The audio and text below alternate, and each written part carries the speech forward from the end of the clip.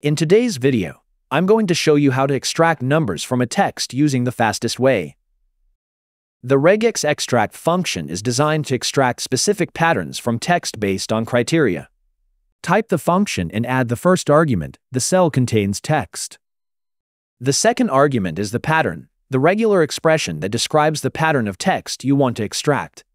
This regex token is a shorthand that represents any digit. A digit is considered to be any character from 0 to 9. The plus sign is a quantifier that indicates that the preceding character can appear one or more times. The third argument is the return mode. If you want to extract multiple numbers, use 1, then press enter. When regex extract finds multiple matches in the text, it returns the results in a vertical array. Now I'm using the toRow function to convert this vertical array of matches into a horizontal array. Okay, copy the formula down. What if you want to extract the first, second, or third number?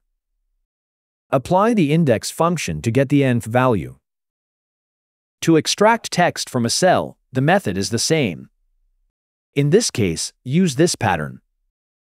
Regex functions are available only in Microsoft 365. But no worries, our free add-in provides the new functions for all Microsoft Excel versions. In the example, I'm running Excel 2016 using a virtual machine.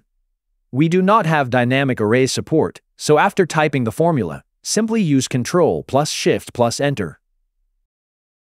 For more tips, subscribe to our channel and stay tuned.